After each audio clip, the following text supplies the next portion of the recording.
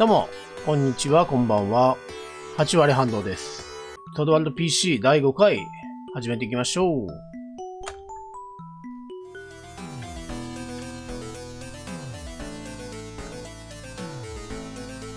はい、えー、前回の、えー、と麻薬騒ぎは、とりあえずは、えー解決したところからのスタートになりますね。で、えーっと、確かヒール、かんヒールロットだっけ？えーっと、バラムかな？バラムのアイテム。確認の仕方がわからない。ありますね、ヒールロット。これは、このまま使えるのかな？装備しなくても良さそうだね。使ってみよう。えー、バラム自身に使ってみますか。はい。無制限に使えるのかな？今使っちゃってよかったんだろうか。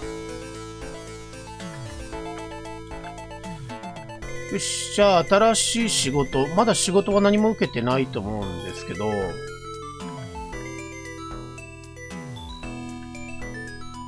いらっしゃい。どんな用かい？仕事は？今仕事ないよ。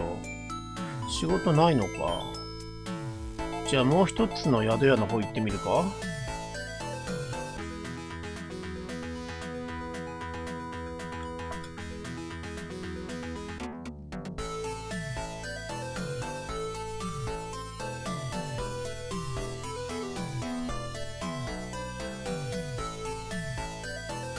いらっしゃい。何か用かい？一緒に探検に出かける仲間を探している男はこ小部屋にいるから話を聞いてきたらどうだい？なるほど。よし。お、こいつかな？あんたら仕事探してんのかい？もしそうだったらいい話があるんだけど、一口乗ってみないかい？いやね、大したこっちゃねえんだけどよ。ここの郊外にでっかい古墳があることは知ってるだろう。なんかドルアガーの塔で見たことあるような髪型ですね。ああ、もちろん。じゃあ、あそこにとんでもねえお宝が眠っているってことも知ってるよな。そしてあそこには古代王国の呪いがかかっていて誰も入れないってこともね。ところが、ところがだ。そこに入るための秘密の入り口を俺が見つけたとしたらどうだい？本当かい？おっと、これ以上は今は教えらんねえな。どうだい？俺と一緒にそのお宝ってやつを拝みに行かねえか。俺は情報を提供するんだから3割。残りはあんたらの間で山分けってんでどうだい？なんか美味しすぎる気がするんだけど。なんか怪しいね。そう来なくちゃ。それでこそ一人前の冒険者ってもんだぜ。まあ一杯飲んでくれ。こいつは俺からのおごりだ。俺はシャルクだ。これからもよろしく頼むぜ。うーん。だいぶ怪しい匂いがプンプンしますが、シャルク、えー、からの依頼。えーっと、古代王国の古墳に、えー、一緒に行こうと。お宝は、えー、シャルク3割。残りは我々。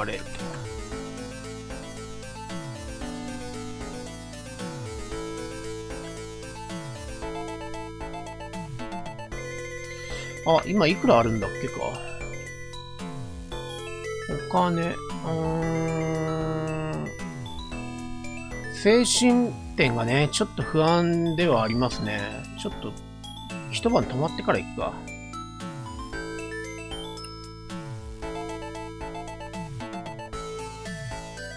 えー、宿泊。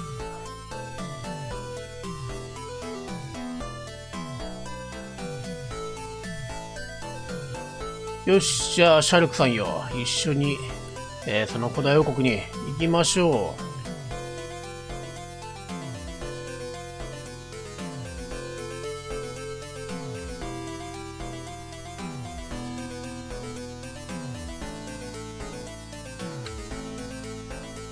こいつなんだ？ああ。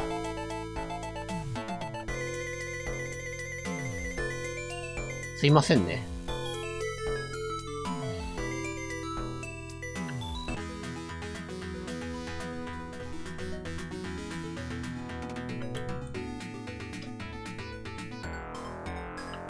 この地下道は何だっけ？これ何？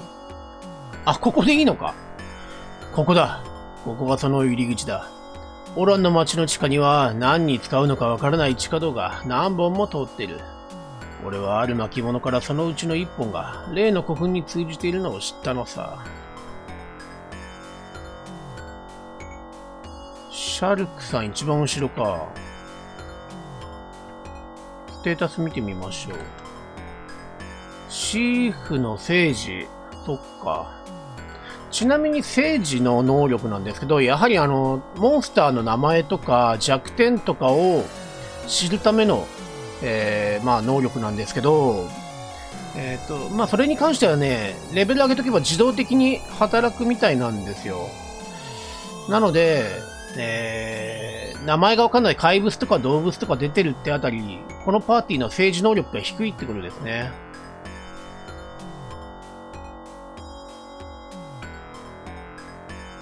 うーん。なんでしょう。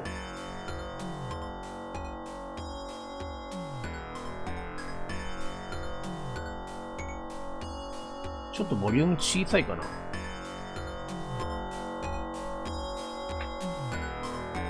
あれ？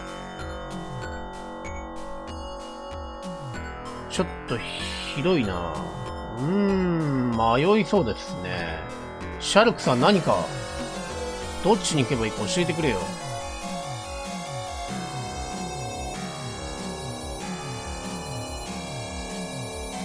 おお結構なあー、繋がってんのか。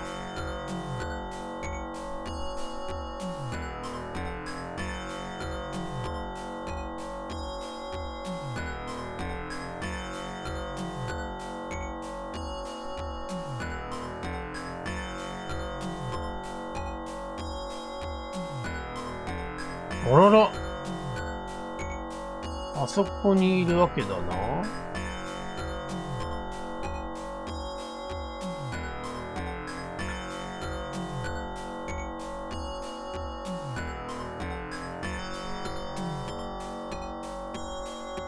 どっちの方角とかっていう、そういう情報ないんですかね。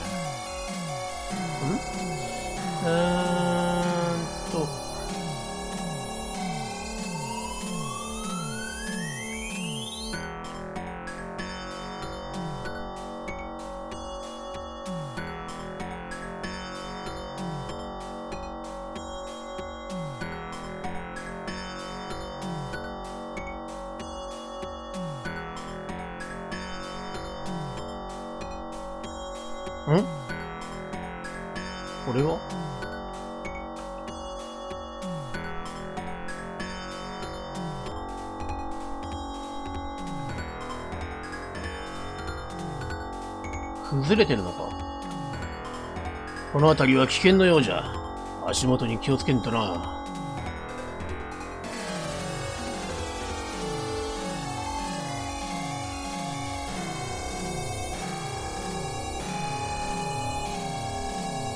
なんか真っ暗でスポット処理とかしてさ、こう、辺りがよく見えないっていう、そういう演出もあってもよかったんじゃないかなと思ったりしますけどね。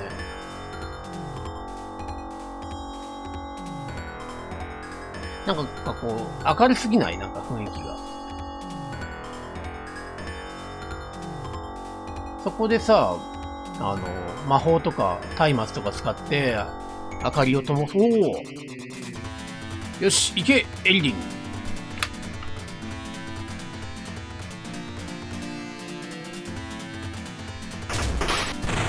よし、幸先いいぞ。えー、ファーザムはいや。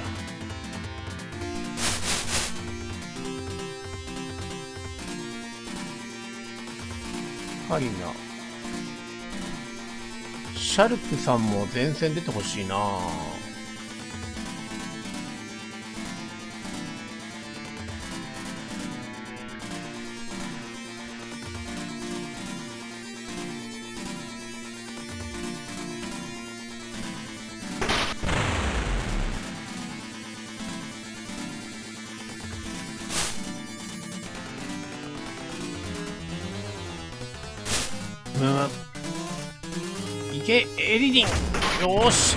すげえ、どうしたの？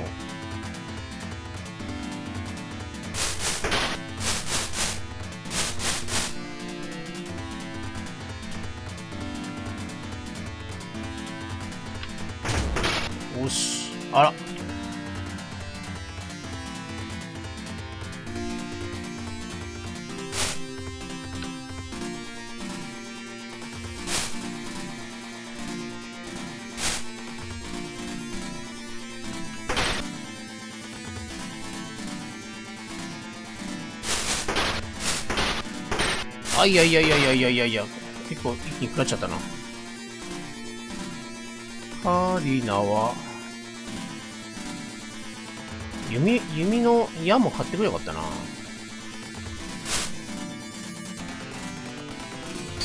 あ、何？ジャイアントラットに剣が、剣が入んなかった。すごい。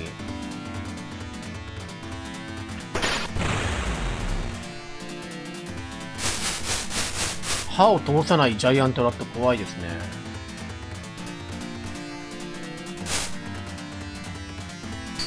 ほら。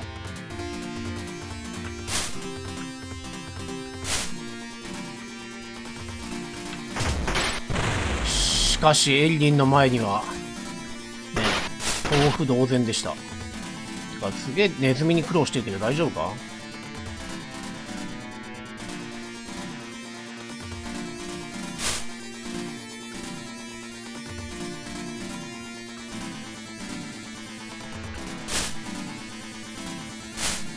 当たんねえな。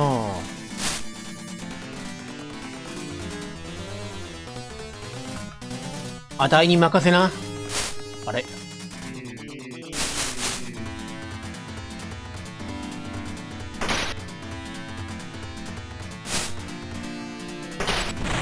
よしやっとこ。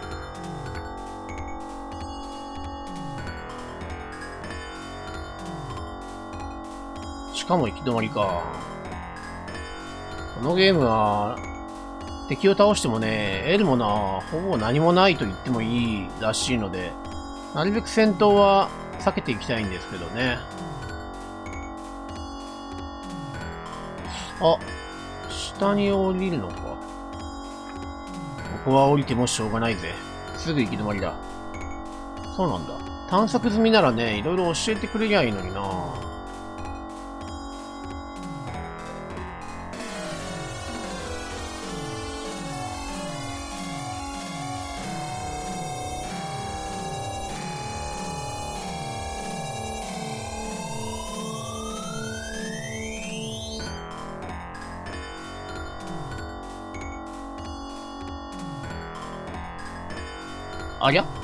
巻物にあったのとちょっと違ってるな。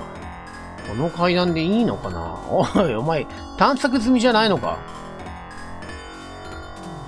階段の奥からカビ臭い悪臭が漂ってくる。うえー、ひでえ匂いだ。大丈夫か？ちょっと、一旦セーブしていこうか。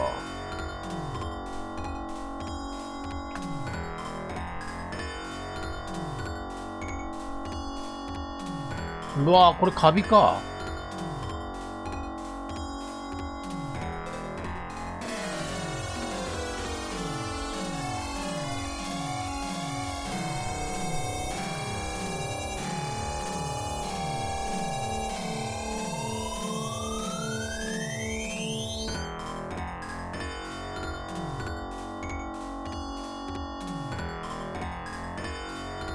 カビ人間とか出てきそうですけどね。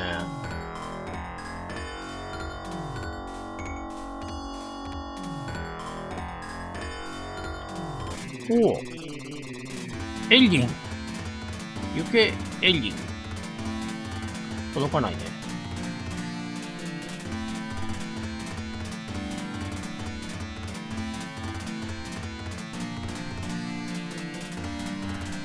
あ、カリナか。植物。うん。政治技能が足りなかったか。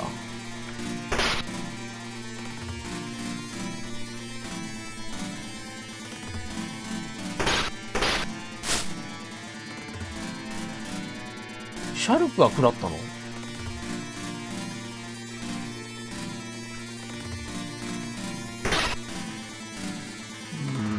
ん、ちょいと強いね。も、このゲーム、あんまり、こう、おいそれっと、簡単に魔法を使わない方がいいと思うんだよね。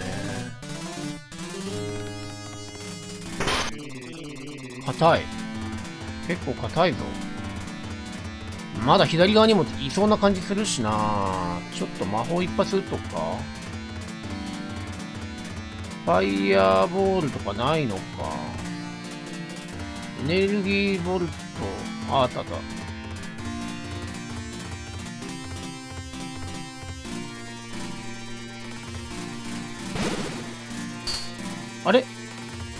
かもダメージ受けない。あー、くそファイアボルト。えー、っと、2体。こいつと、こいつ。うーん、体力すごいなよし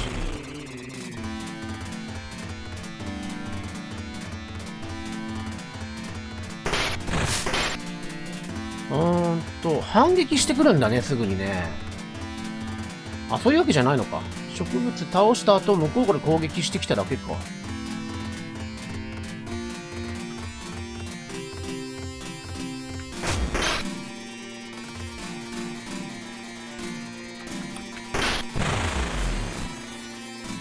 け・エリディン。左側にはいなかったみたいだな。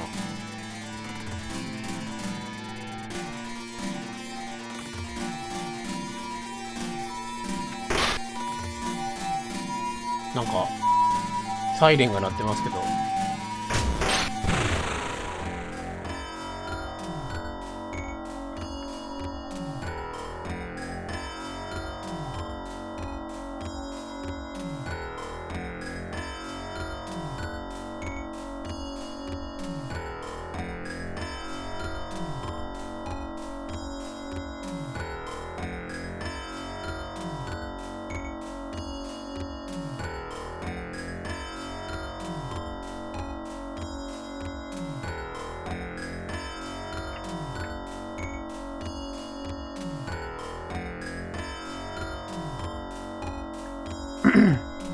先日、目の手術をしてきまして、ちょっとまだ本調子ではないので、だったらゲームやってんだよって話なんですけどね。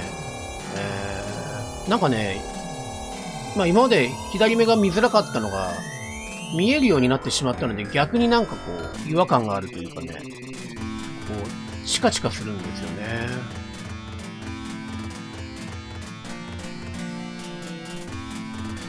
あー、カリナ。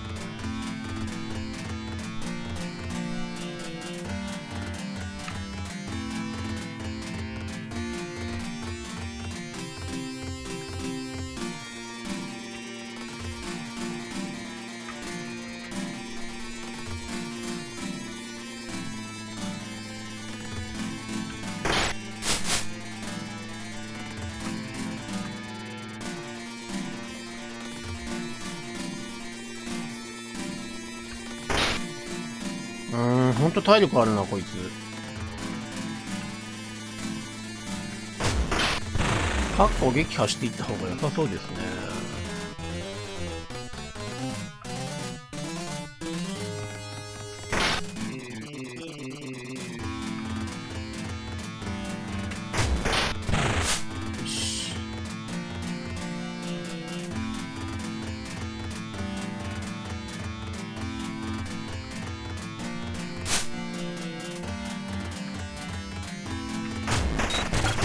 すげえ何？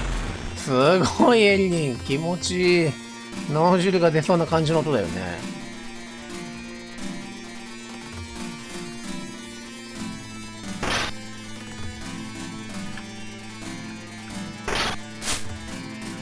どんな動きしてるんだろうなあの音。ものすごい勢いでなんか剣振ってそうな。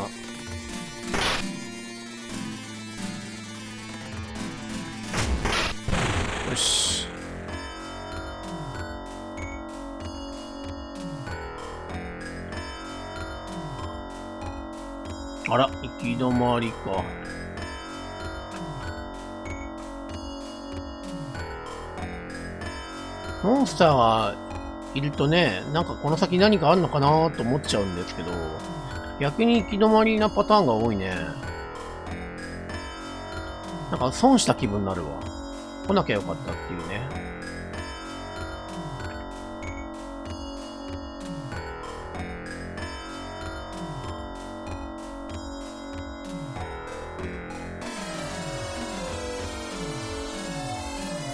一旦セーブしとくか。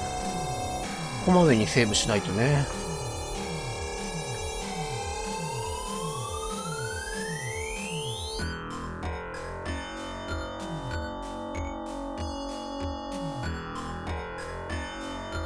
あら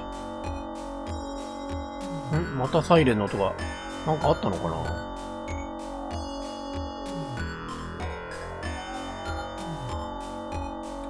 なんかあったのかなって、のんきに構えてたらね、ボーボーボー火が燃えてたらやだな。下の階とかね。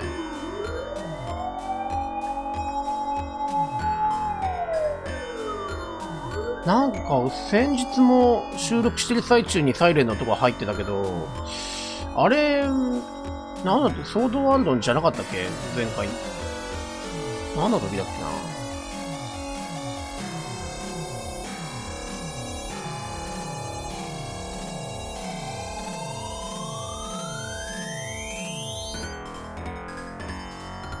あら、また行き止まりか。シャルクさんがさ、こっちだとかさ、そっちは違うとかいろいろ言ってくれないから。しかもこいつ一回探索に来てんのかと思ったら、初見じゃないですか。初見さんじゃないですか。あれ？うーん、こっちじゃなかったのか？どっかに隠し通路があるのかな？ここまで広くて何にもないってのもおかしいよな。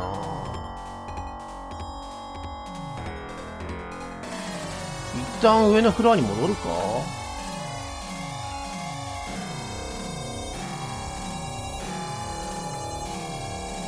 日止まり。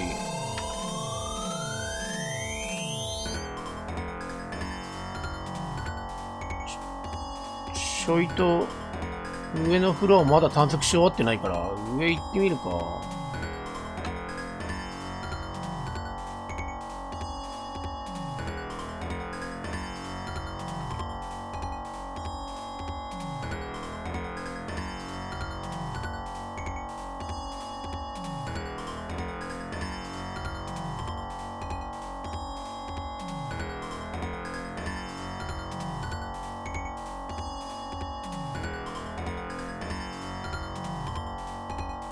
その古墳とやらにさ、何があるかっていう話でここまで来たのにさ、そこにたどり着くまでが大変だね。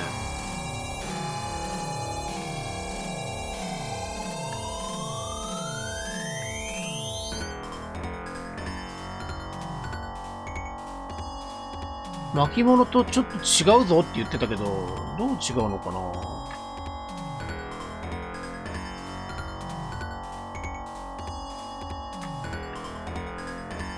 えー、っと、ああ、そこか。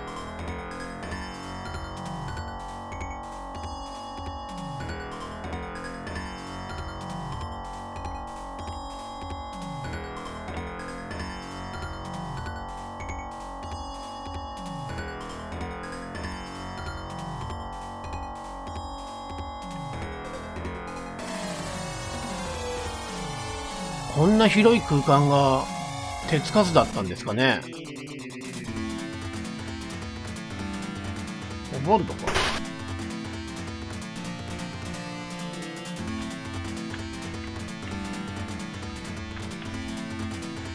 ソードワールド名物。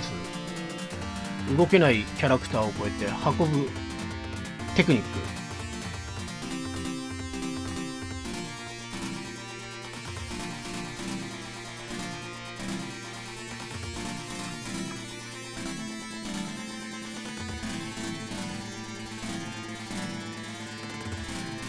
アリナは、どうすかな？弓どのくらいあるのかな？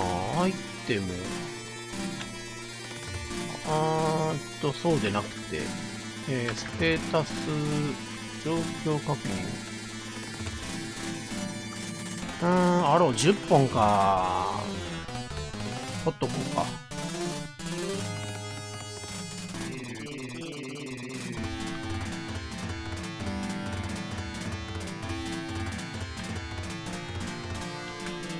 あ、これエリリンか。ごめん。エリリン殴ろうとしちゃった。間違えました。よ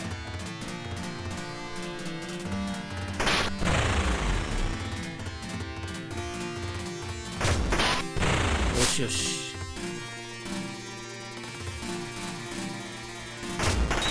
あよっしゃー まだいたのか。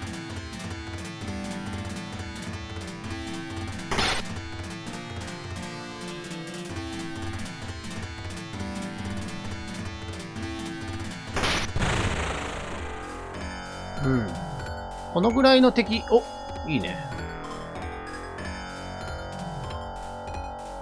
罠はないと思う。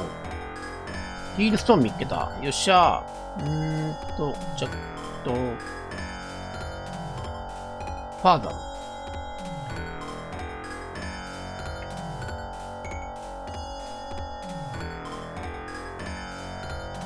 まあ当然だけど、ヒールストーンはすぐに壊れちゃいますからね。あるに越したことはない。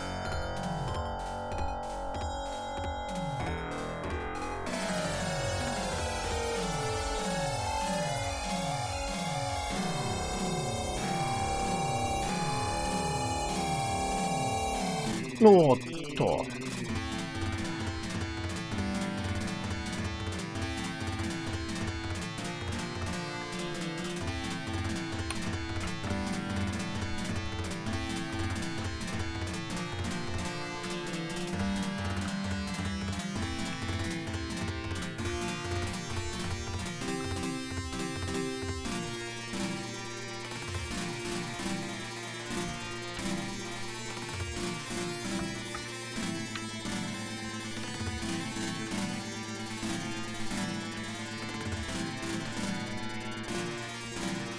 またこいつか。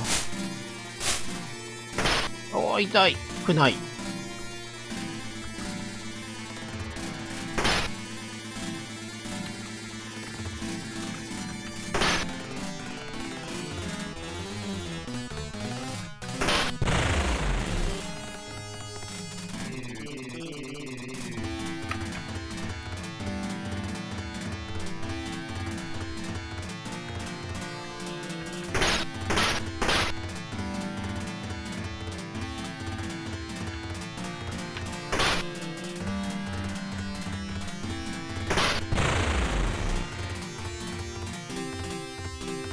頑張れエンディン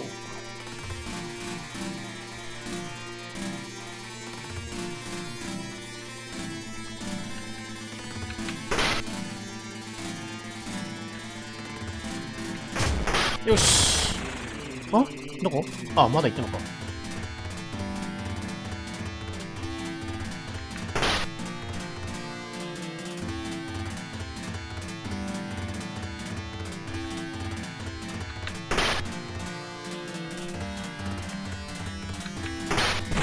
慣れ、慣れてきたのかな？なんか、戦い慣れるっていうシステムはあるのかな？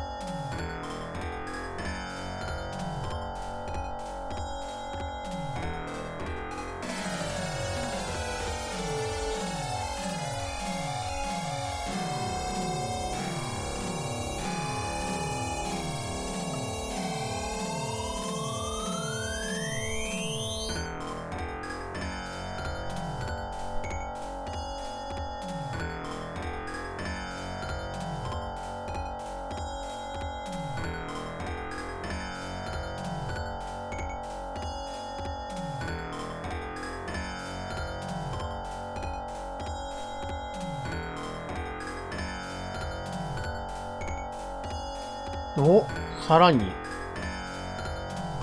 正解臭いな。正解臭いけど、もう、ん？さあ、いよいよ近いぜ。シャルクさん何か落としましたよ。お、お、ありがとうよ。おっと。ああ、すみません。手が滑って、あれ？中に絵が入っているんだな。へえ、美人の絵ですね。ひょっとして大したことねえよ。えー、ゆまゆうっていう田舎臭い名前だろ？妹さんかどなたかですか？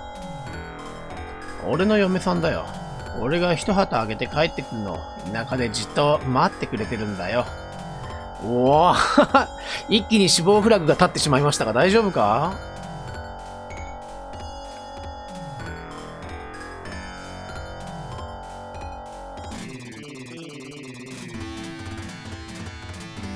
なんかね、巻物とは違ったとか言ってたのは大丈夫なんですかね。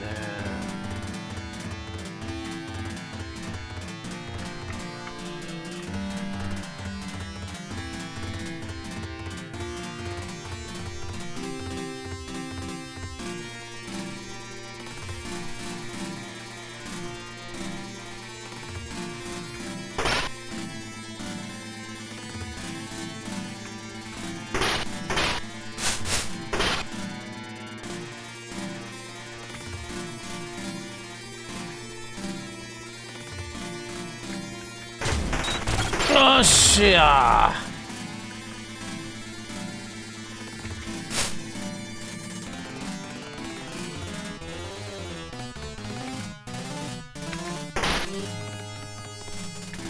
ハーザムじゃねえや、なんだっけ、シャルク、結局、あんまり役に立た、攻撃では役に立たないとか言うとね、そんなことはねえぜってなっちゃうんだよね。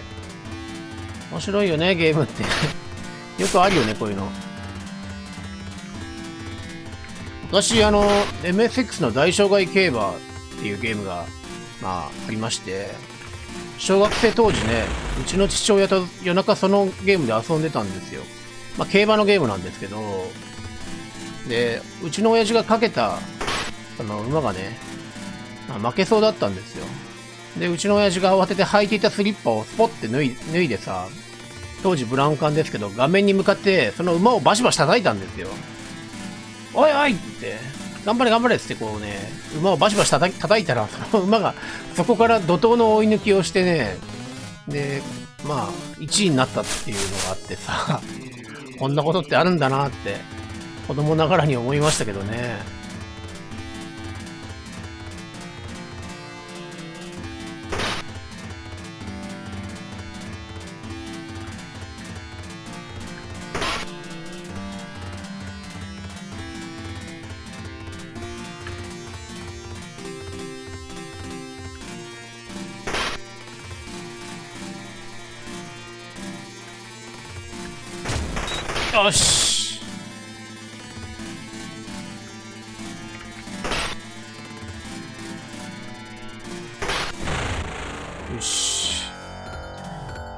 当だったらこの辺りでちょっと休憩したいぐらいなんだよなこのゲームどうして休憩がないんだろ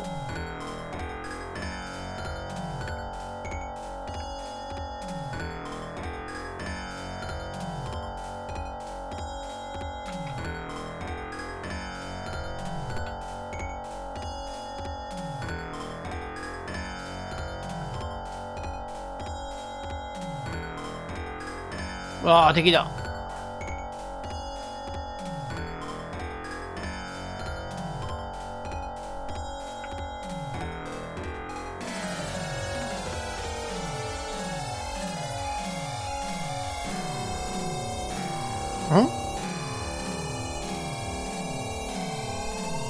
隣のマップにまで、こんな展開あったっけ今までね。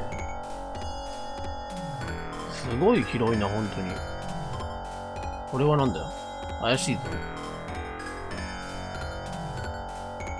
何もないみたいだ。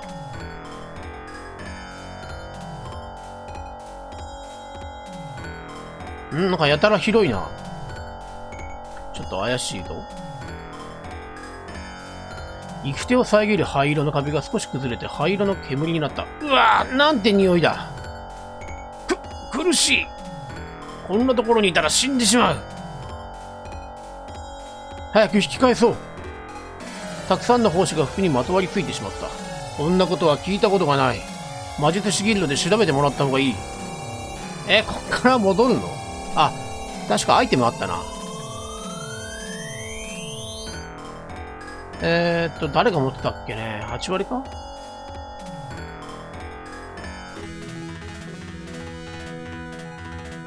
魔術師ギルド行きましょう。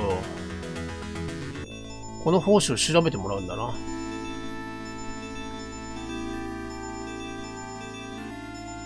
相談。実はオランの地下でキノコの胞子が、地下道での出来事を話した。うん。確かにあなた方の服にはたくさんの胞子がついていますな。奥の部屋におられおられるアージェンタ同士にご相談ください。わかりました。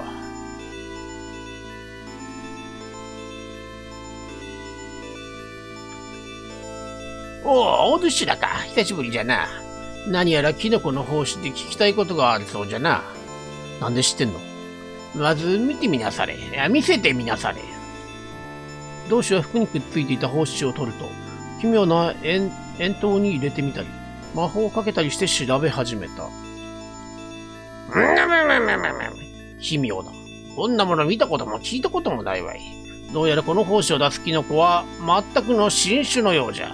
しかもどうやら魔法がかかっている気配があるの。ちょっと待っていなされ。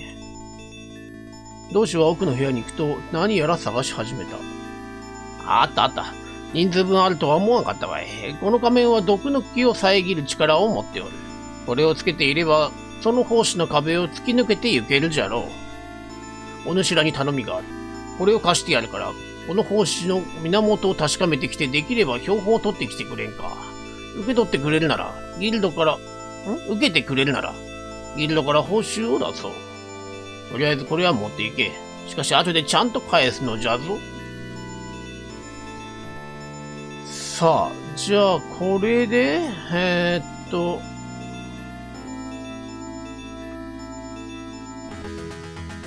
一旦、休憩していこうか。明日の朝早く行き、出発しましょう、みたいなね。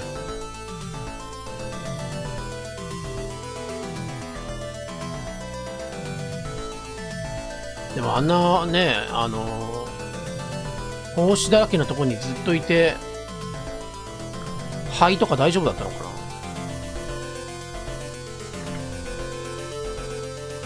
昔、若い頃ですね、日雇いの仕事、まあ、肉体労働やってたんですけど、あの、解体屋とかをね、やってまして、解体の作業をね、まあ、作業開始からまあ1時間半から2時間ぐらいでだいたい休憩なんだけど、まあね、もうすごいんですよ。もう、ま、周りが見えないぐらい真っ白になりますからね。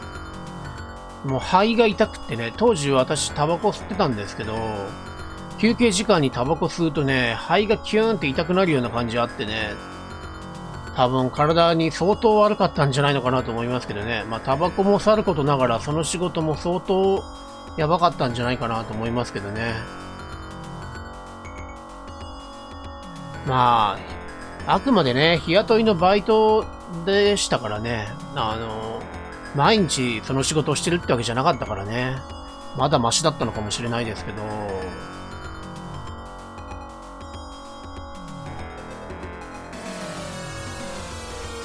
えー、っと、こっちじゃないな。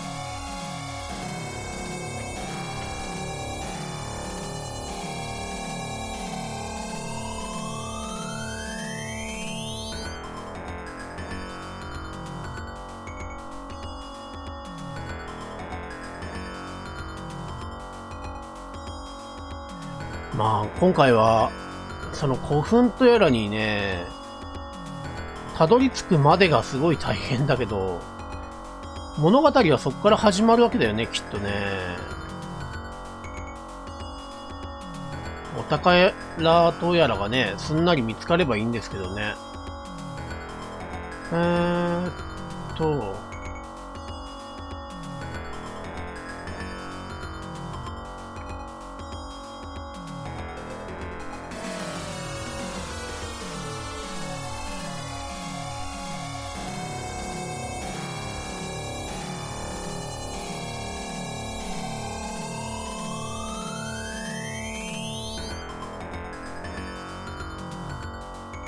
ルートが分かってりゃ思ったより時間かかんないんだな。ダンジョン系のゲームとかってさ、探索がすごい時間かかりますけどね、一度ルートが分かってしまえば、まあ確かにそんな時間かかるもんじゃないですけど、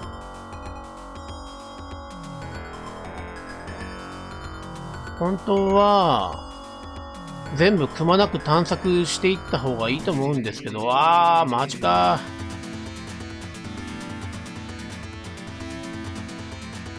取り漏れてるものとかがね、さっきのヒールストーンみたいにさ、あると思うんですけど、な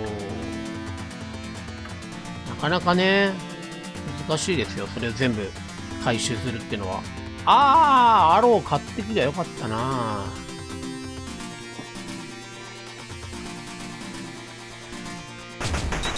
よし、よし。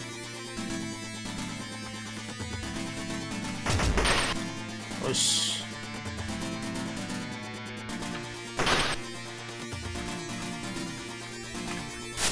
あ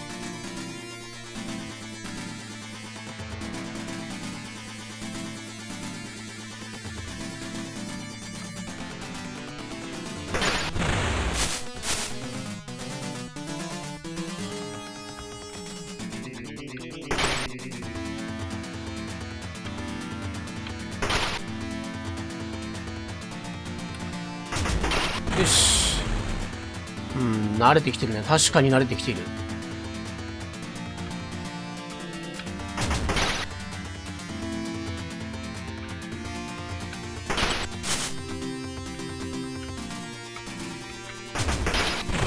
し。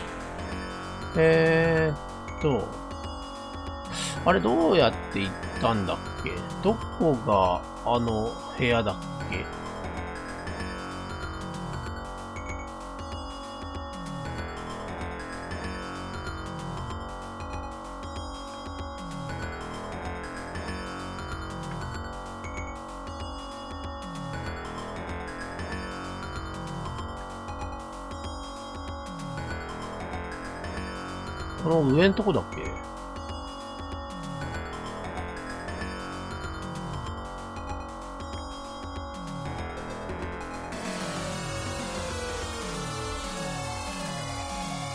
違うか。あれ？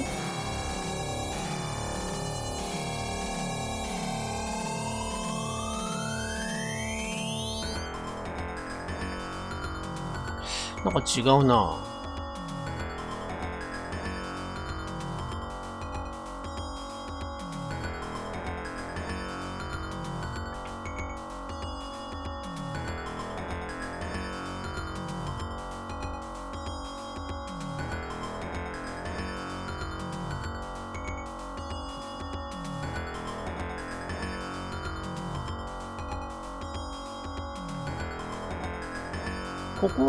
った気が、おお、こいつら。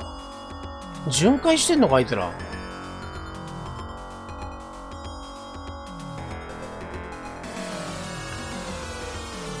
ああ、来た帰ってくるとは思わなかったな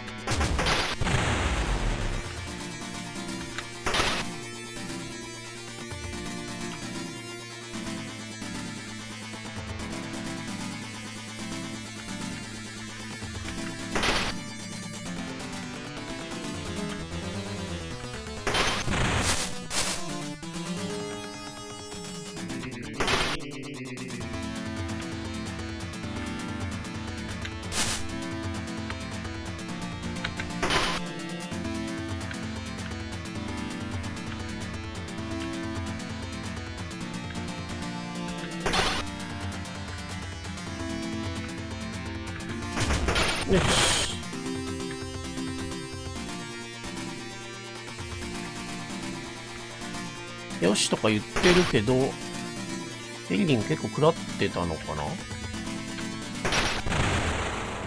っしゃー。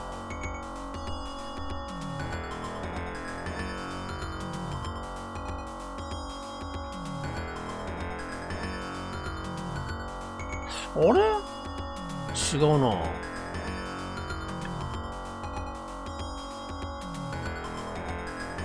うん。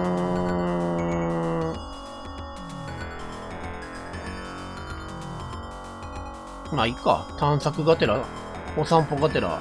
あ、思い出した。隣のマップに行くんだった。そうだ。隣のマップだ。ってことは、あそこか。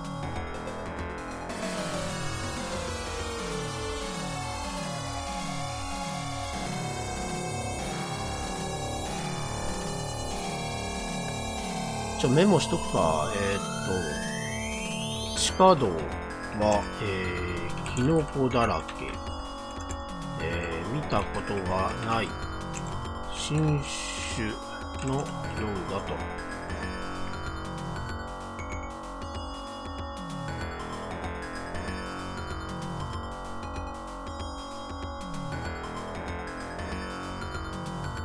ここですね。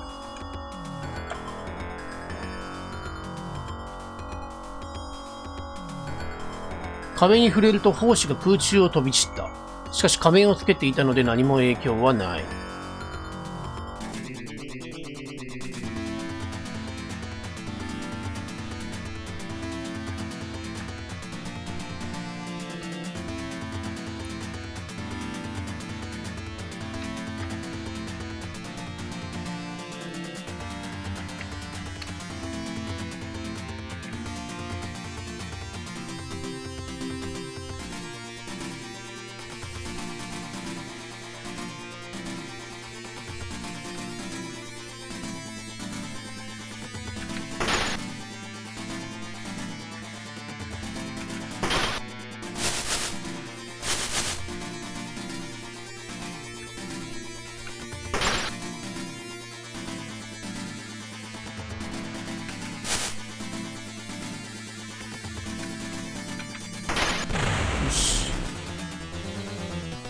RPG の戦闘とかってやってて、ストレスが溜まる原因の一つってさ、こう、当たらないっていうのが結構あると思うんですよ。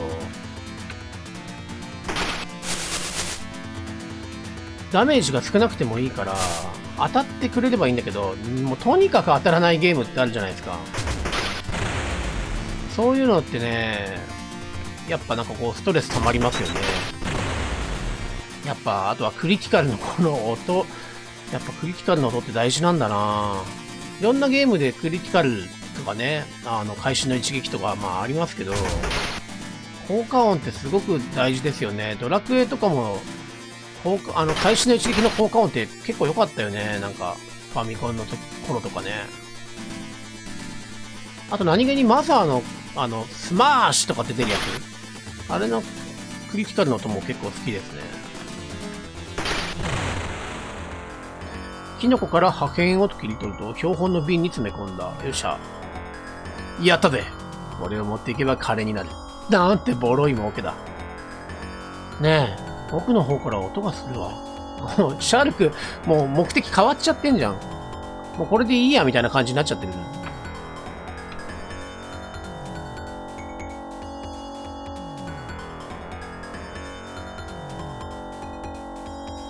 わ何これ？えこりゃ、ゴミの山だ。ゴミなんだ、これ。すんごい綺麗に、なんかこう切り、切り取ってあるというかね。はえー、っと、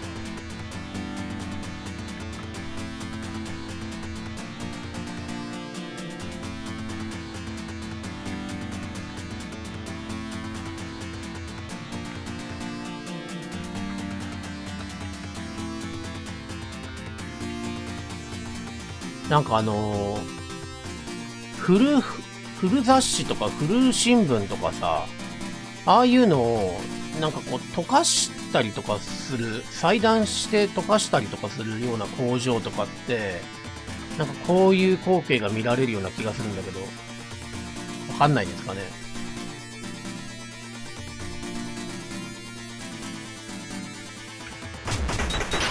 おし、音は良かった。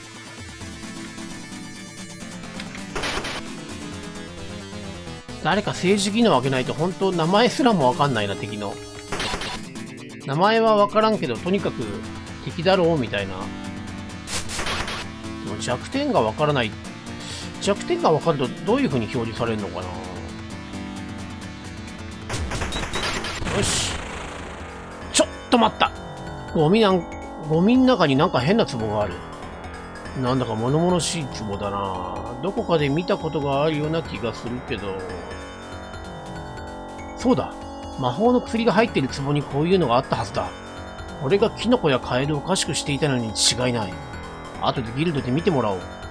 しまったあの、すぐに戻れるなんとかの糸。あれ、1個しかなかったよな持ってたっけ？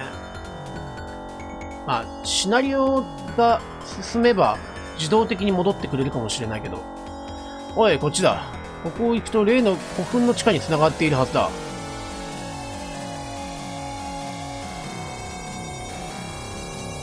なんか、全然違う話が展開してってるような気がするんだけど、なんか古墳で人儲けっていうよりもなんかこう、なんだろう、怪しげな何かがね、薬の、薬がさあって、それでなんか動物がおかしくなっちゃってるっていうのはさ、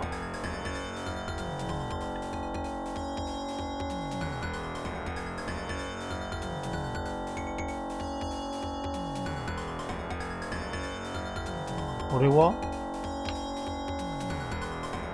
ドアが開かない。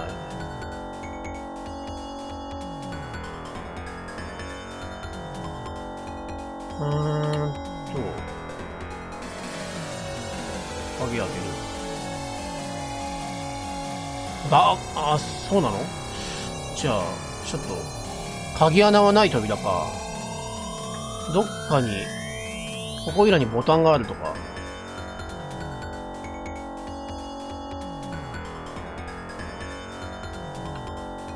なんかこの四角い部分がスライドしそうな感じがするけどね。こ、の四角い部分はグイーンって閉じ込められちゃったりしそうじゃないですか？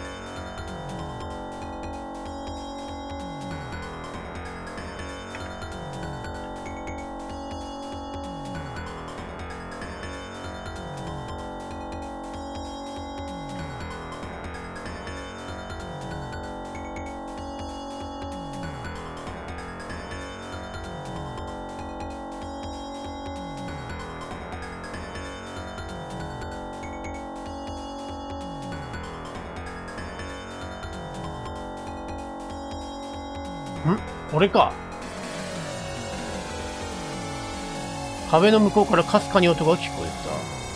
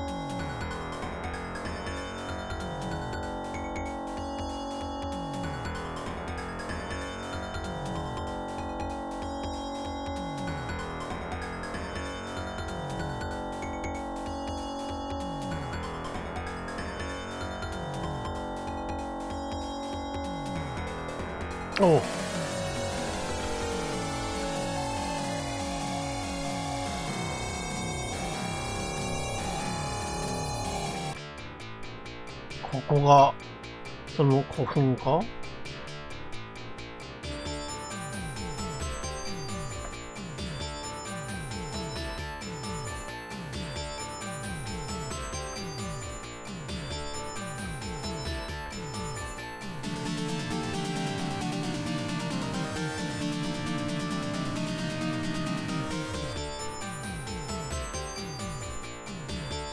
あれ先にあっち調べといた方がよかったのかな？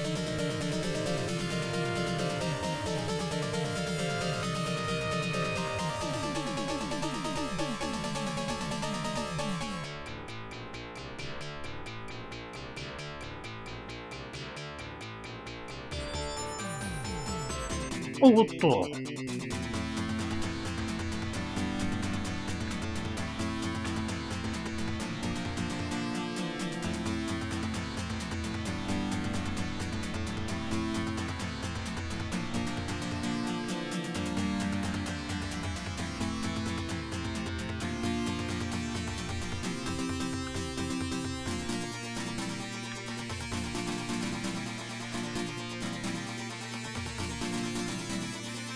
怪物。なんか、そういえばあの地下にいたやつに似てるな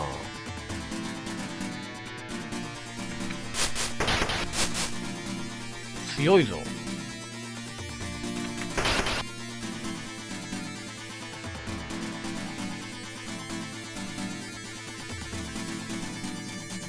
うーん。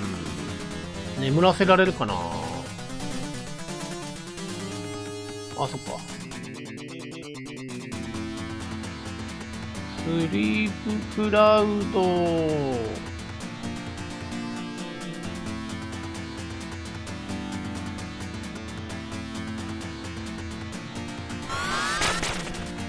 かねえ。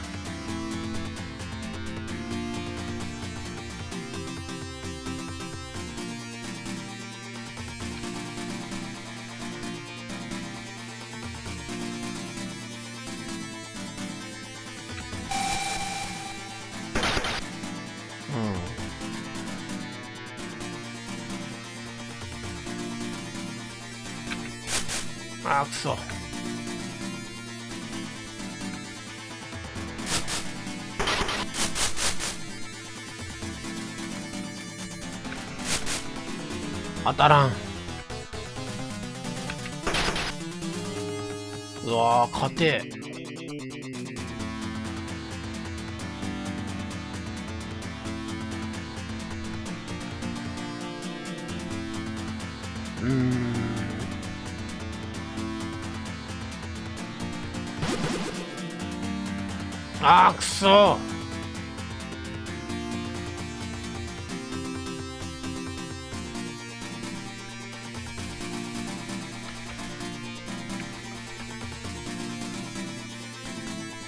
かないのか。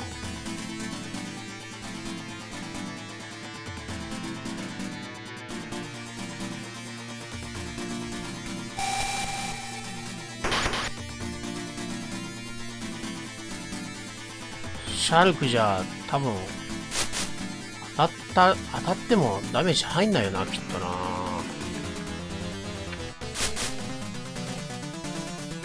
クリティカルが決まることを願うしかない。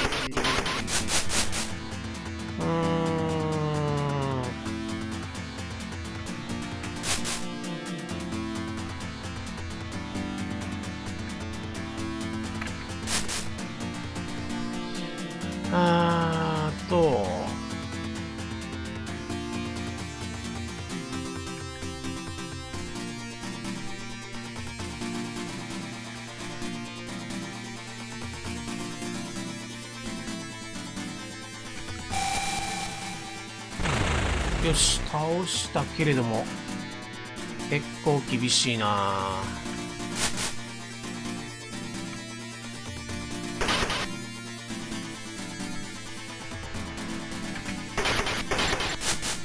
やばい。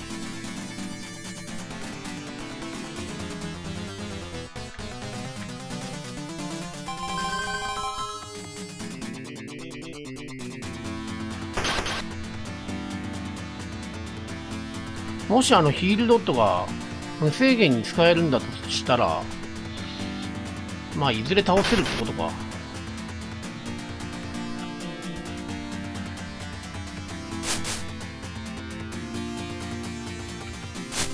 向こうの攻撃がね、この程度しか当たらないのであれば、まあ、大丈夫なのかな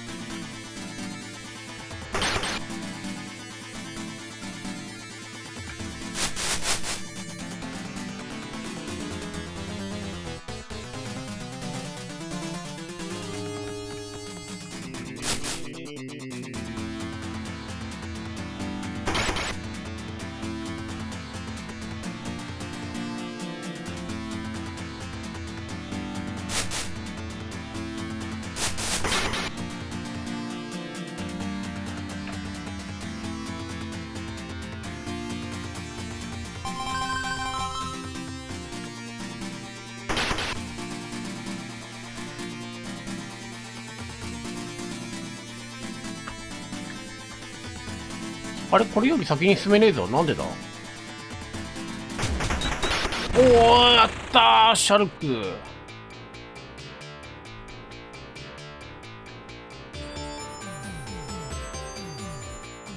ん？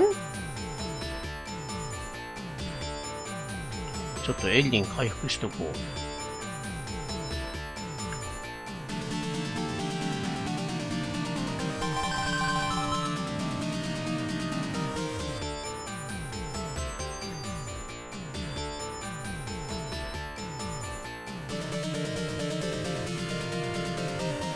形容しがたい色の石の台座がある。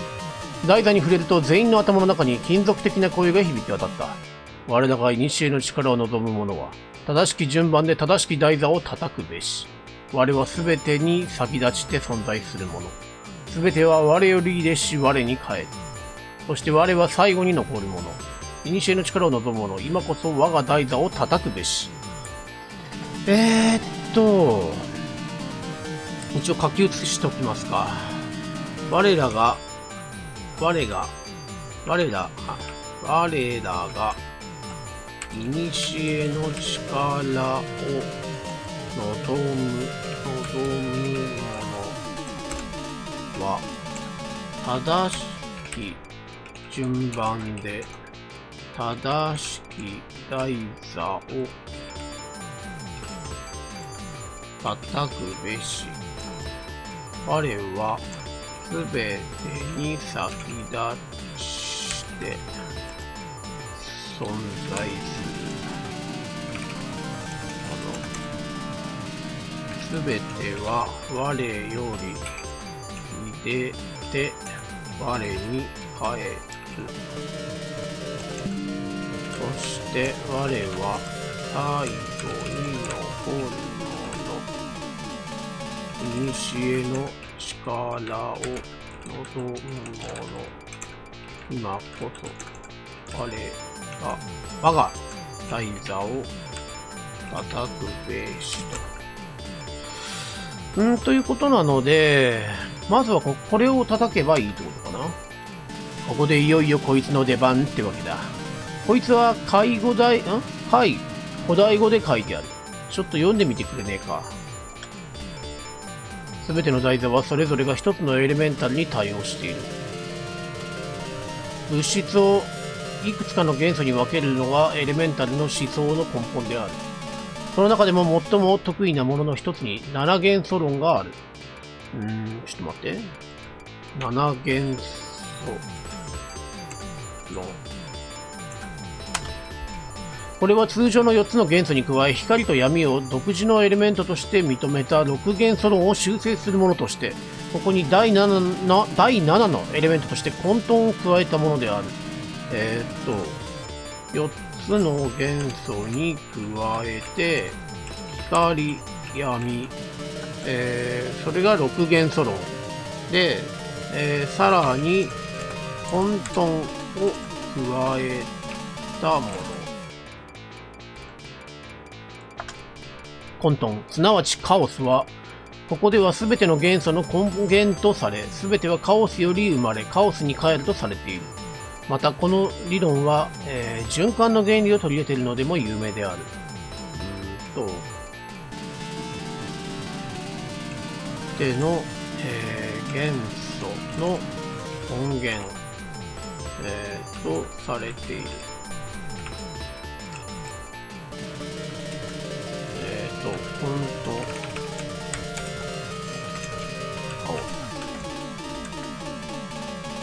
で、えっ、ー、と、循環の原理を取り入れている。通常、循環の原理は火、風、水、土、火というように4大元素が循環して万物を生成するものだが、ここではこの4つのサイクルに光、闇、混沌を加えるものである。ということは、えー、火、風、水、土、火と行くのが、えー、通常の 4, 4元素の循循環。で、これが7元素循環だと、えっ、と、これに加えて、えー、光、闇、そして混沌。で、火ってなんのかな？あ、でも全てから、全てが始まるのが混沌なんでしょってことは、こうなるのかな？火、風、土、火ってなるんだね。要するに7つの部屋がエレメンタルに対応していて、台座を順番に叩いて回ればいいってことだ。で、叩きましょう。なんだ金属的な反響音が広がってた。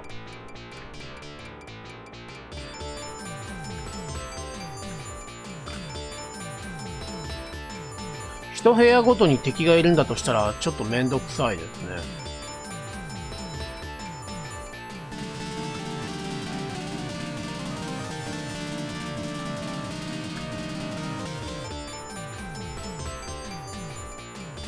んどうなってんだこれ。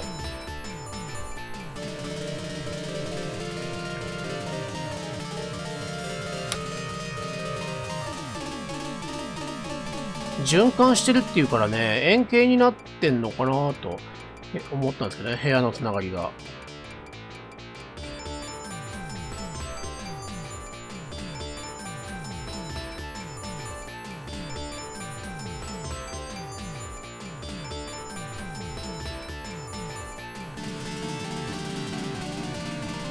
然そういうことじゃないんだな。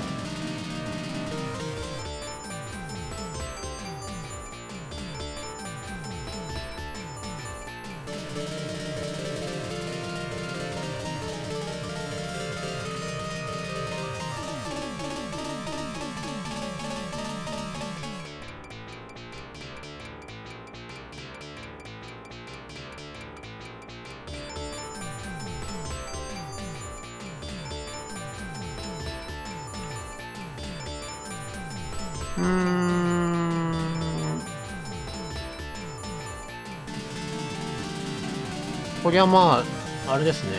時間かかりそうだな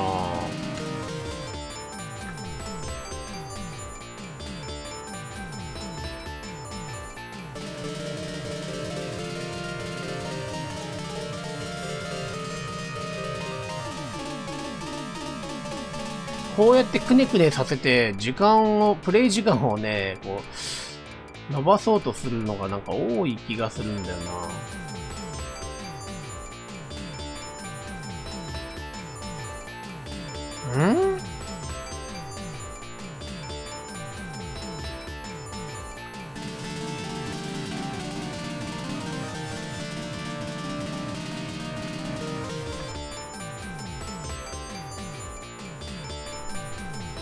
とまだ、このフロアがね、どういうデザインになってるのかがよくわからないですね。あ、なるほど。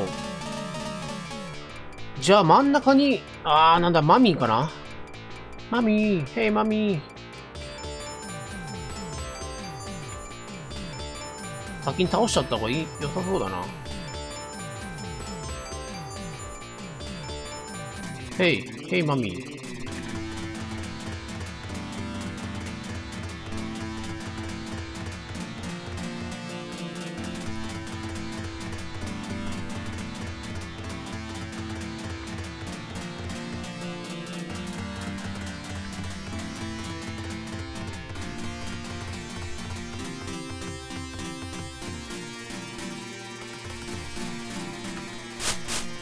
ルトンかマミーかと思ったよ。うわ硬いこのスケルトン、ちょいと硬いでござる。うーんと、ちょちょちょ、えー、っと、ターンデット、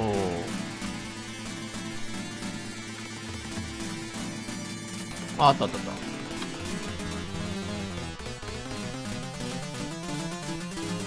3体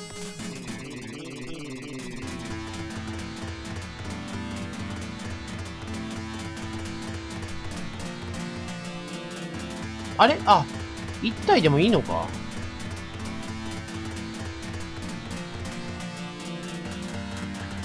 えい。よ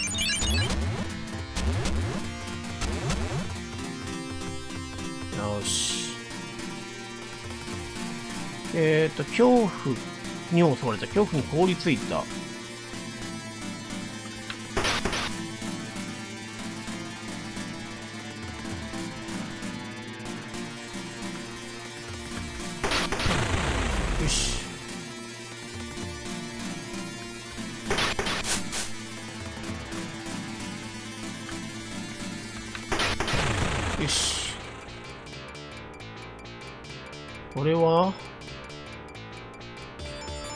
青い石の台座がある。えっ、ー、と、我らが古の力などもの、正しき順番に正しき。我らはすべての命の父にして母は、えー、母。我らは富を運ぶ者。そして我は世界の知識を。何？どれ？水か。そうですね。おそらくまあ、水でしょうね。青いって言ってるしね。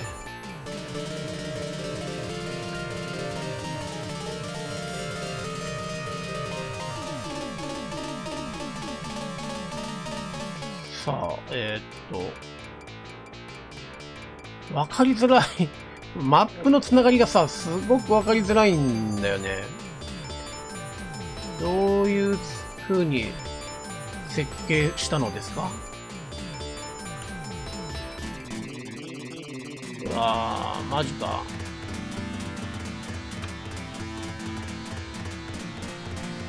敵が寄ってくるのを待つか。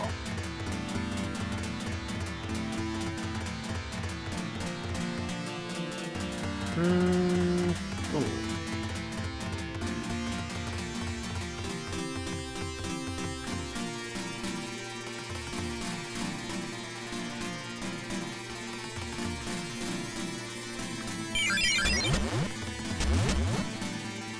バーサクバーサクは嫌だな。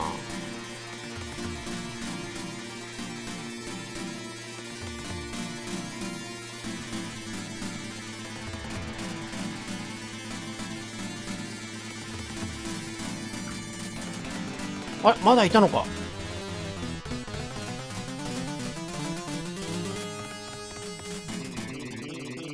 もう一回やるか。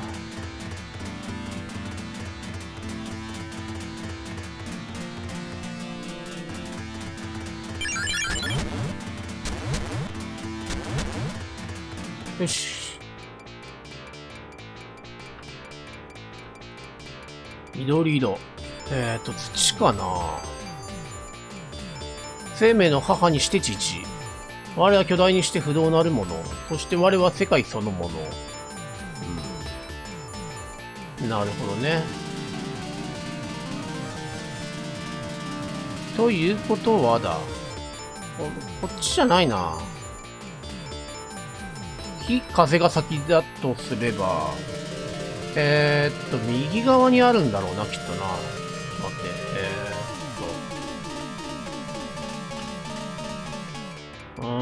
わかりづらい。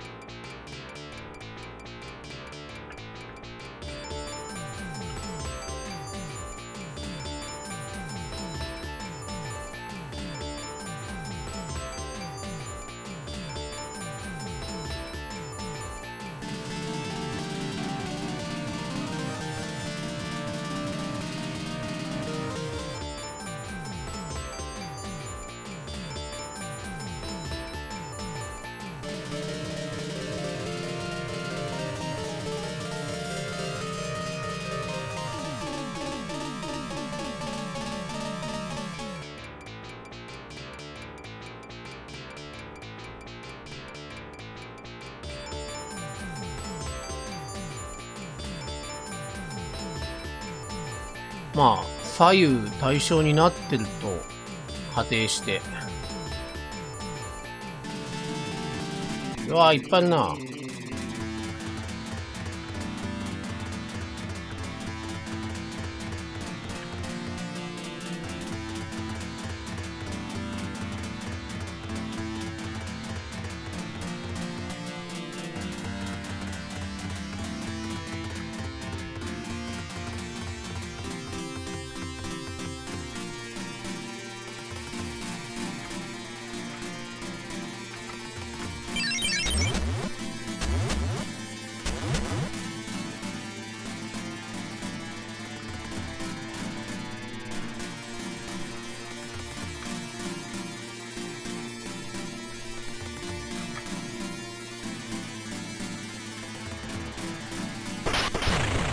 よし。えー、水色の石。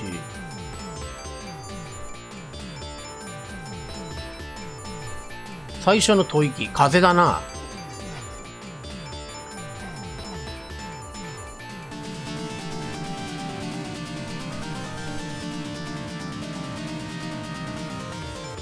これの、えー、っと、これの上にあるのがおそらく木じゃないかな。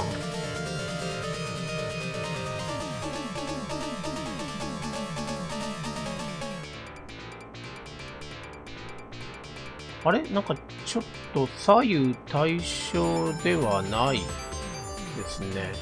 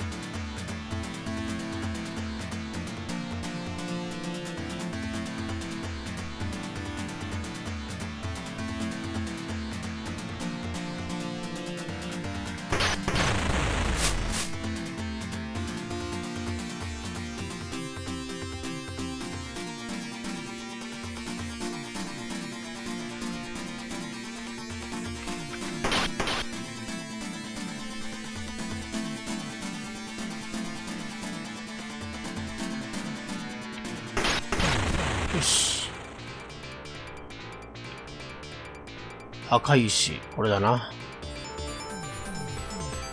えー、熱くたぎるもの。我こそは最大の力。我こそは全ての力を食らうもの。鈍い音がした。あれなんか間違えたのかな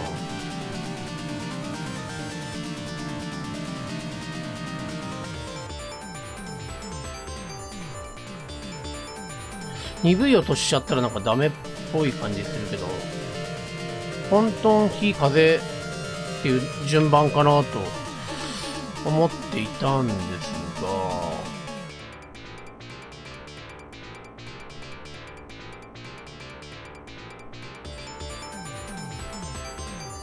マップが無駄に開くって本当に大変だな、これ。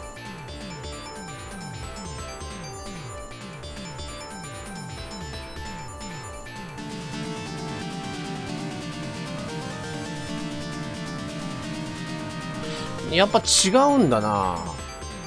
本当えどういう順番なのかな。そしたら、ん？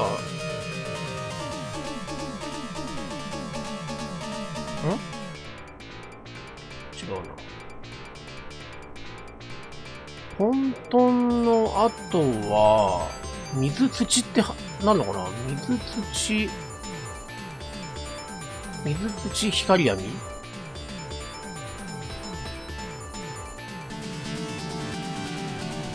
もうとにかく広い。それが一番の、なんていうか、敵というかね。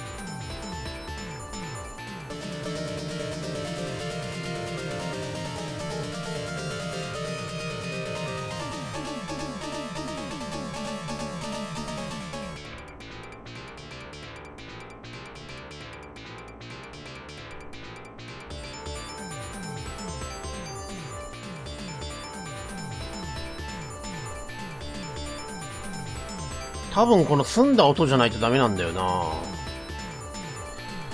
うーんと。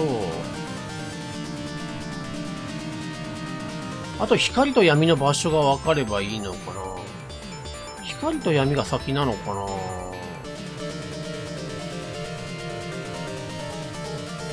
な。なんもさ、シャルクさん、その辺はなんかこう、文献とか調べてこなかったんですか？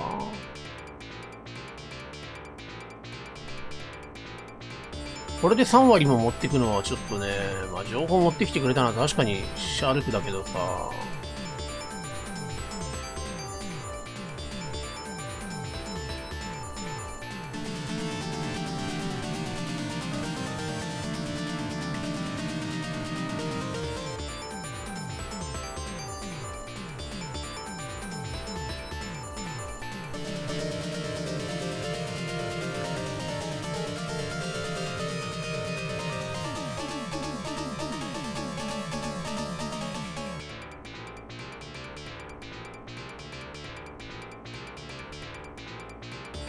ここの、えっ、と、左側が、えっ、と、土だったんですよ。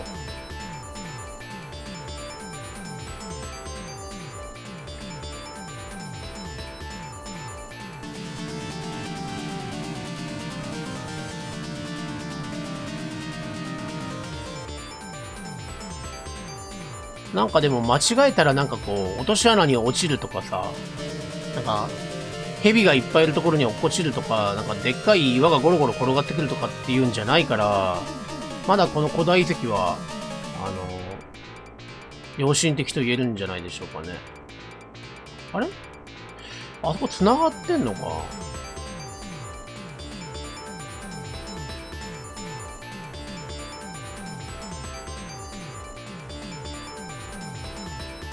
壁の向こう側があえてこう表示されないシステムになってるから、あの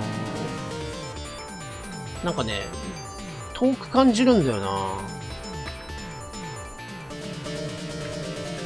壁の向こう側が見えないと不安になるというか、よくできてるっちゃできてるよね。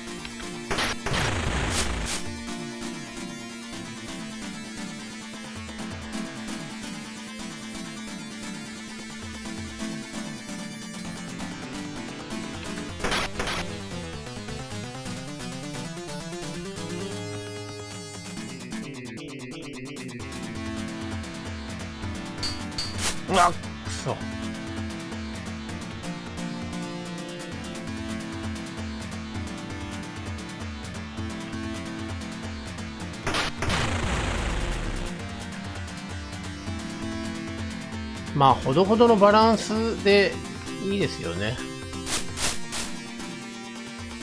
なんか敵が強すぎないからまだマシっていうかさ。これで敵が強かったらほんと大変よ。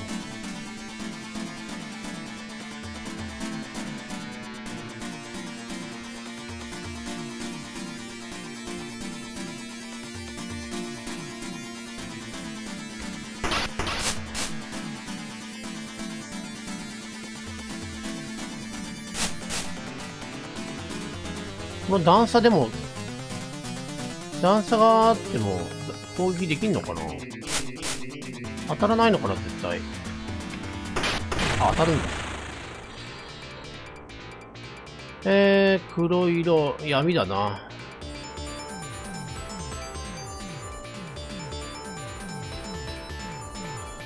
えー、最も混沌に近きもの。なるほど、そういうことですか。ってことは、ここが混沌になるのか？あ、混沌じゃない、混沌闇。え？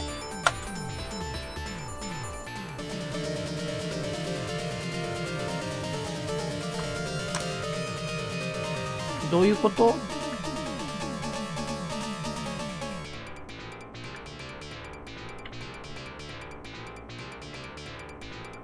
これでついとなる向こう側が光なんだろうけども、最も近いって言ったけど、ん？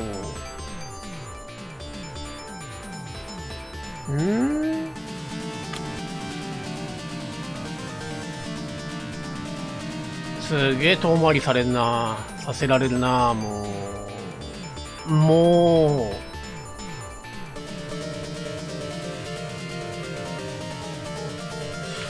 内側から行けそうだな。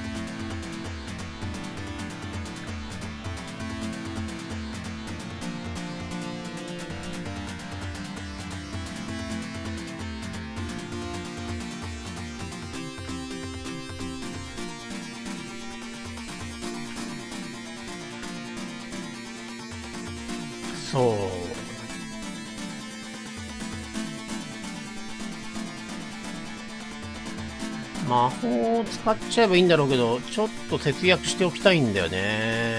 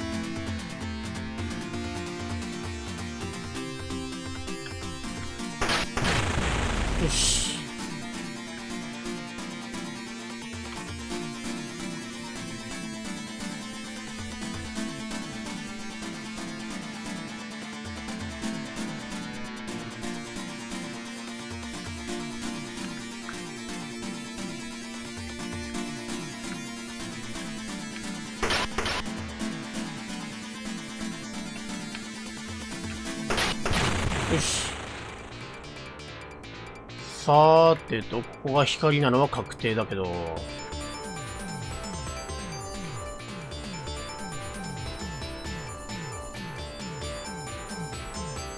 最も純粋なるもの。古の力など。うーん。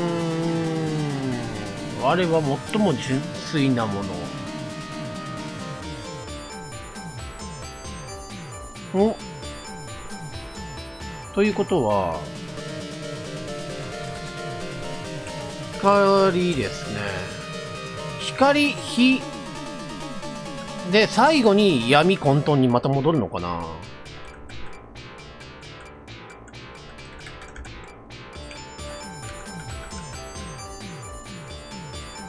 こういうことかなとなったら次は火だ。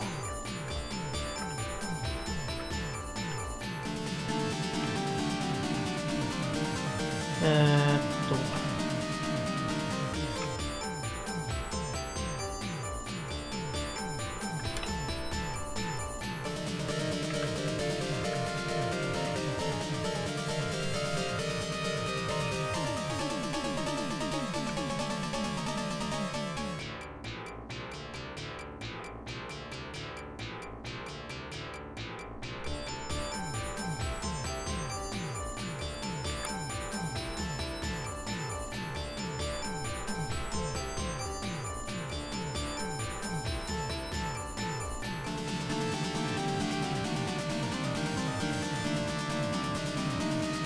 し、わかった。えー、っとですね、このマップ、右から、えー、上、えー、じゃ右の真ん中、右の下、で、左の下、左真ん中、左上、で、また真ん中。多分こういう順番でしょ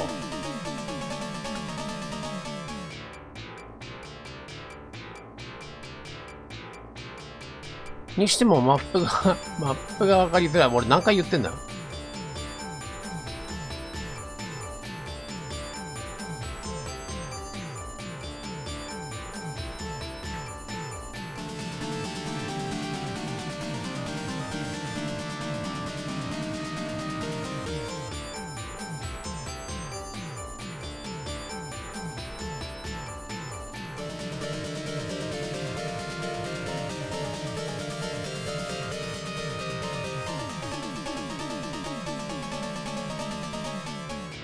し。もう、これで、いただいたようなもんだ。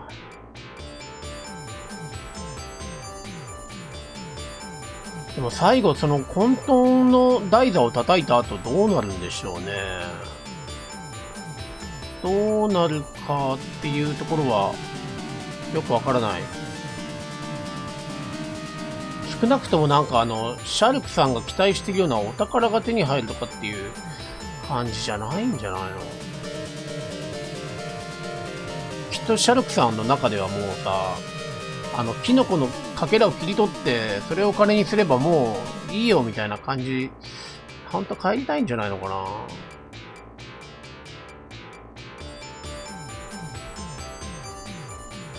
まあこのゲームね、シナリオの最後に必ずボスが出るっていうわけでもないと思うから、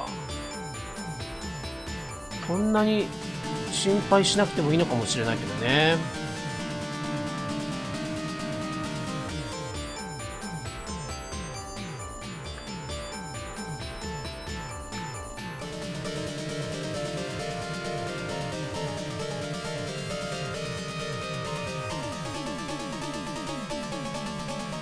よし。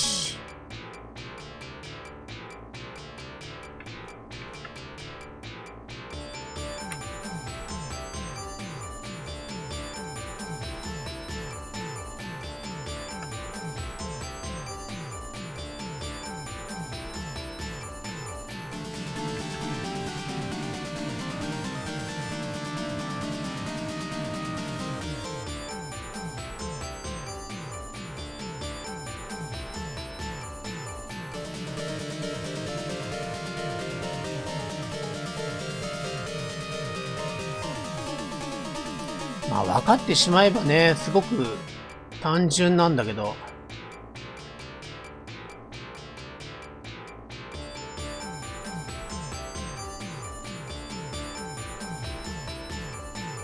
よし。ここが闇。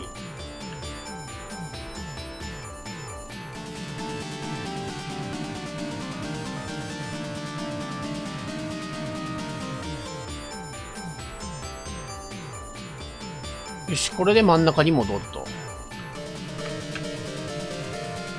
えー、っと、近道は、近道ってほどでもないか。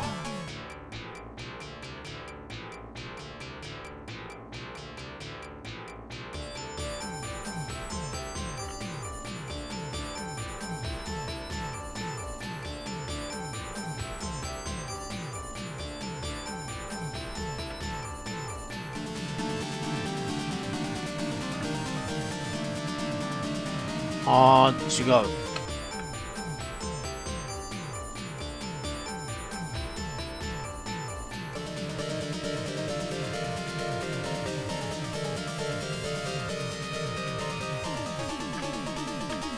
じゃあセーブしといた方がいいかななんか出てくるかもしんないかな。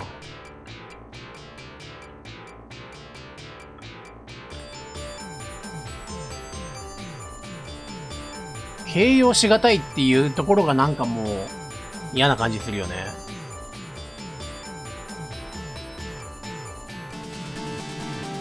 不意に部屋中に猛烈なエネルギーが吹き出し吹き出した。その勢いでみんなは台座から跳ね飛ばされた。本当の台座はチラチラと色を変えて輝いている。なんだ何がどうなったんだしばらくするとエネルギーの噴出は収まった。見ると台座の上に七色に輝く財宝が現れた。やったやったお宝だぜいきなりシャルが歓声を上げて台座へ走り寄った。おいおい、やめとけ。見ろよ、全部宝石でできているみたいだ。シャルクが財宝に触れた瞬間、いきなり七色の光が彼を覆った。う、うわ、うわシャルクはそのまま黒焦げになってしまった。やがて七色の光の台座の傍らには、一つのペンダントが落ちているだけだった。なんてことなの。家族が待っていると言っていたのに。冒険者の最後なんて、こんなもんなんだろう。台座の上に残ったのは小さな一振りのメイスだった。これ、冒険者の店で見た心臓の武器の一つじゃない？奇跡の店の親父さんのところへ持っていこう。はあ、小さなメイスを手に入れた。8割たちは地上へ戻った。あー、ショートカットしてくれてありがとうございます。マジかとりあえず魔術師ギルドに行くか。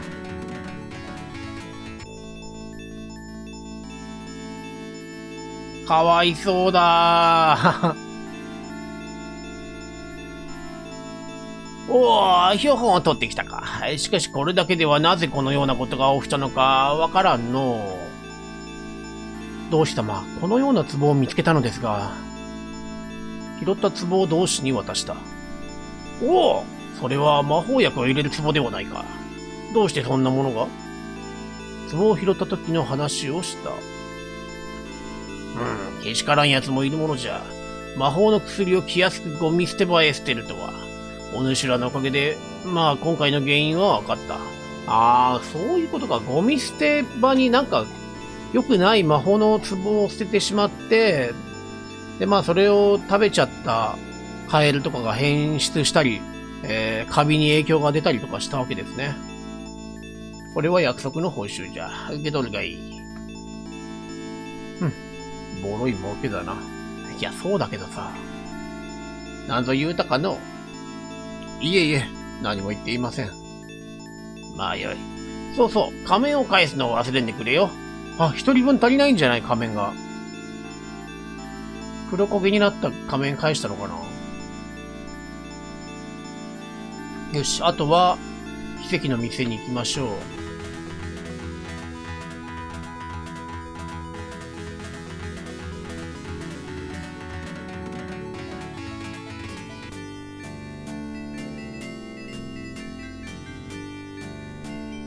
う。いらっしゃい。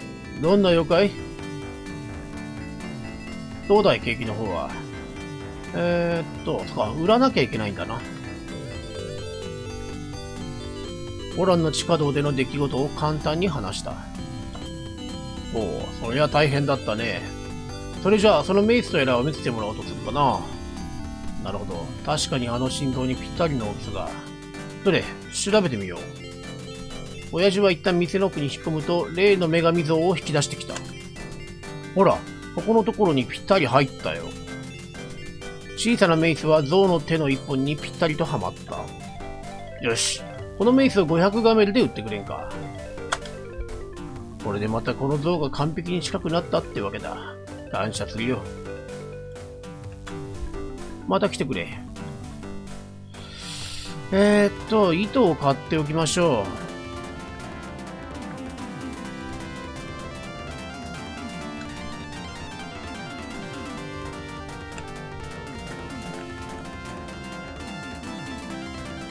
さあ、まあ、小石欲しいけどね、やっぱ化石が悪くってね。これ、だって宿屋に泊まっ、2回泊まってるからね、赤字じゃないの ?1 回350画面でしょ。戻ろう。麗しの我が家て。うーん、なんかね、こう、まあ、とりあえず、あの、親父の女神像のね、武器は手に入ったけど、どうもね、こう、すっきりしなかったというかね、財宝も手に入らなかったしね、結局ね。はい、ここまでご視聴いただきましてありがとうございました。えー、ソードワールド PC、えー、次回の動画でまたお会いいたしましょう。さよなら。